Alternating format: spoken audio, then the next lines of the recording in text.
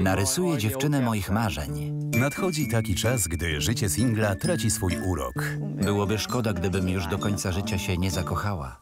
Ale dla niektórych droga do miłości jest bardziej wyboista. Dziewczyna, chłopak czy tylko przyjaźń? Wzruszająca opowieść o poszukiwaniu uczucia. Lubię ją, mam nadzieję, że z wzajemnością. Nigdy żaden chłopak mnie tak nie rozśmieszył. Gotowi na miłość. Premierowy odcinek już w środę o 22.30 tylko w TLC.